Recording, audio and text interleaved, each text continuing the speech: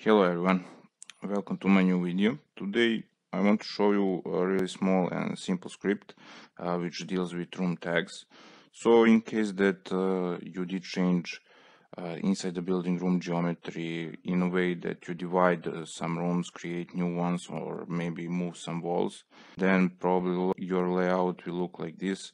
So in some rooms you will have multiple room uh, tags for, for one room in some other rooms you will not have room tags. Uh, some room tags will be maybe outside of the building. So in order to, to resolve all those issues, you will need to uh, usually what I do, uh, I delete all the existing room tags and then uh, reset that uh, room geometry center and then create new room tags. So when you have like maybe one, two or five uh, sheets uh, and you need to do it once, that that is okay, you can do it manually, but when you have 30 layouts and you will receive a couple of times those comments, that task becomes very boring and very time consuming.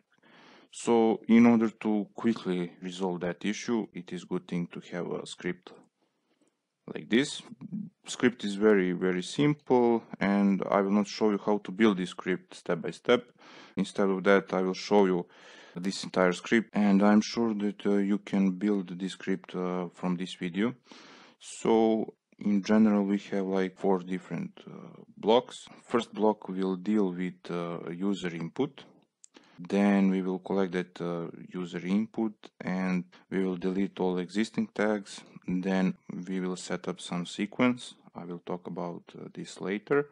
And then we will create new tags. And of course we will reset room location.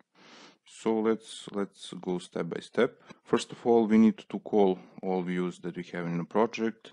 And from that block, we, we need to list all elements and here uh, we want to make some logical uh, filter. In our list we have views which does not have a name, so we will convert uh, this list of views to string.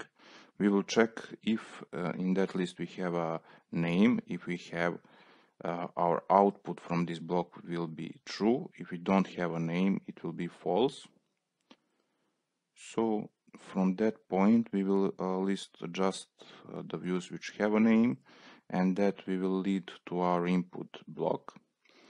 Also because I did want to try to somehow clean this name of the view I did split a couple of time and do the replace string replace to jump from this name of the view to this name of the view And of course, we will use data shapes user interface. Uh, we will ask uh, user to select the view. Then we will pass that to the multiple input form. And from that point, we will know in which view we need to delete and create new room tags. So because we know uh, in which view we need to run our script, we will say, okay, for that view, you need first of all to, to took all the room tags and to delete all those existing room tags.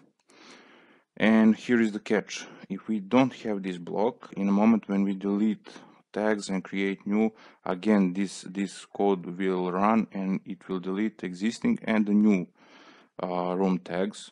So our layout in any case will be blank.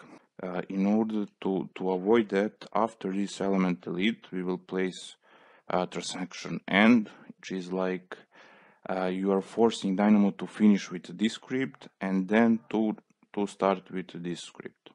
When we uh, finish with the sequence, now we are basically doing a similar thing. Uh, again, we have a view in which we want to create new tags. User give us information about that. And uh, we know that we first of all need to uh, reset location of the rooms. And then we will call uh, a node to create new annotation tag. Uh, for that, we need to provide locations type of the room tag. And uh, if we want to execute that command uh, I said true and it will create new room tags. So let's see how, how this script works in, in the practice. I will say run. And it will give me a list of, of views. I want to fix my room tags in this view and I will go set values now the script is finished and uh, you remember that we have multiple room tags in this area and also for this room 8 our center location was somewhere here. So the dynamo correct everything uh, delete existing room tags determine new location of the room center and place new tags. Also if we if, if we have blank layout like this one we can run our script and select this view. Uh, you will see that uh, delete tag will report a, a, warning and that is because we didn't have any any room tags on that view.